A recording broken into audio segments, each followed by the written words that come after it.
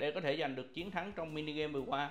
Cái bạn cần có đó chính là kiến thức kinh nghiệm và khả năng đoán mò. Và khả năng đoán mò. Đúng vậy các bạn chỉ cần như thế thôi là các bạn đã đủ khả năng để có thể giành được các phần quà đến từ nhà tài trợ. Và hãy cùng xem ai là những người may mắn giành được các phần quà trong đợt vừa rồi nha. Chào mừng anh chị đến với buổi công bố giải thưởng của mini game nhân dịp 30 tháng 4 và mùng 1 tháng 5 năm 2024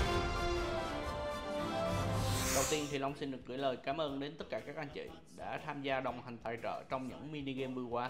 Đó chính là các anh chị anh Xuân Khanh, anh Kim Trạm Bình Chánh, anh Trần Đức Phú, anh Paul Phạm Trần, anh X, bạn Bi Chấm Mi và bạn Hải Yến. Không nằm ngoài dự đoán của Long thì kết quả của mini game lần này đã nằm ở những con số lẻ. Tất cả các anh chị trúng giải trong mini game lần này đều đưa ra con số dự đoán chính xác và giống nhau và sự khác biệt nó đã nằm ở số lẻ phía sau. Trước hết, Long sẽ công bố kết quả của câu hỏi phụ, tức là trọng lượng của con tỳ hưu đá sapphire của anh Xuân Khanh.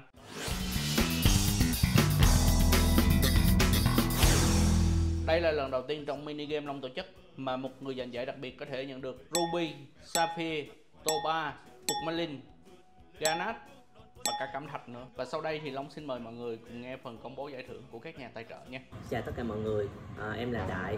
À, hôm nay em có vinh dự được anh Long mời công bố kết quả giải nhất của mini game vừa qua. Thì giải nhất của mini game này bao gồm là một viên tục ma linh mài kim tự tháp của anh Trần Đức Phú, một viên cẩm thạch mài chiếc lá và một vòng tay thạch anh tím của chị Hải Yến. Tất cả ba phần quà trên đều đã thuộc về anh à, Nguyễn Trung với dự đoán là 105,34 carat là 0.28 carat so với kết quả chính xác.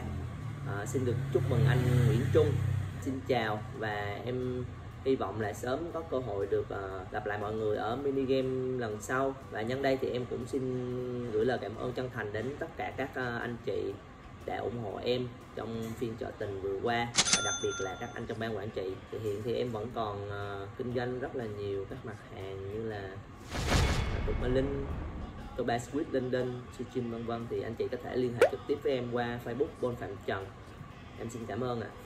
Kim à, xin chào quý anh chị trong hội yêu đá quý nha. Thì à, ngày hôm nay Kim rất là vui vì được bạn Long là ủy quyền cho nhà tài trợ để công bố cái giải đặc biệt trong cái mini game vừa qua. Kim uh, xin phép nói lại những tác phẩm uh, đặc biệt trong mini game vừa qua nha. Tác phẩm đầu tiên đó là con uh, kỳ hu của uh, Sapphire của anh Admin Xuân Khanh nè.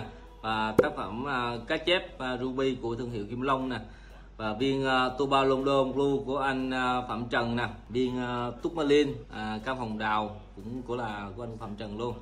Uh, sợi dây ngọc cẩm thạch của bạn uh, Bi chấm mi và 30 viên Ranat của anh uh, Trần Đức Phú. Kim á, thật sự là Kim rất là khâm phục cái bạn này tại vì á uh, cái um, trong uh, tất cả các uh, tác phẩm giải thưởng ở trong đây là lên tới là gần 40 tác phẩm nhưng mà bạn này à, đoán ra được là một con số à, rất là lý tưởng. Và Kim xin à, công bố cái tên của cái người trúng giải đặc biệt lần này nha. Đó là Kim xin bật mí là có bốn chữ và bạn này là họ Nguyễn.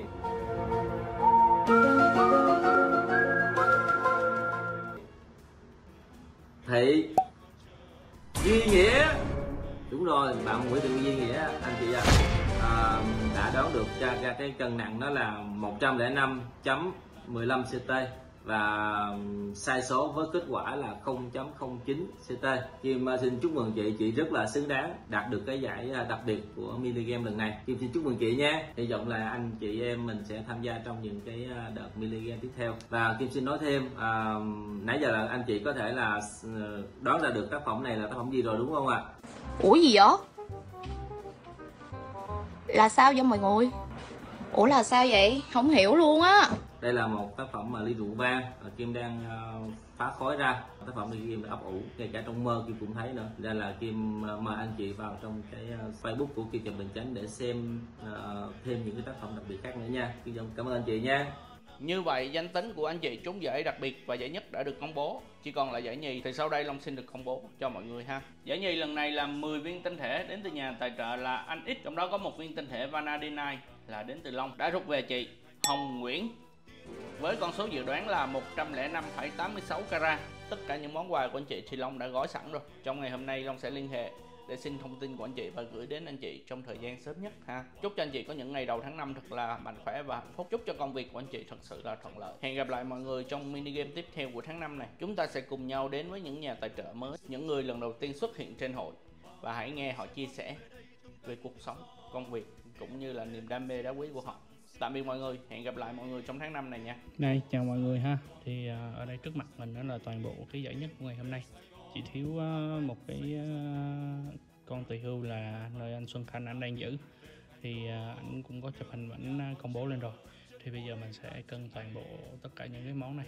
À, sau đó cộng lại à, với con tỳ hưu của anh Khanh thì nó sẽ ra được cái kết quả của mini game ngày hôm nay ha. Đây, bây giờ mình bắt đầu mình cân.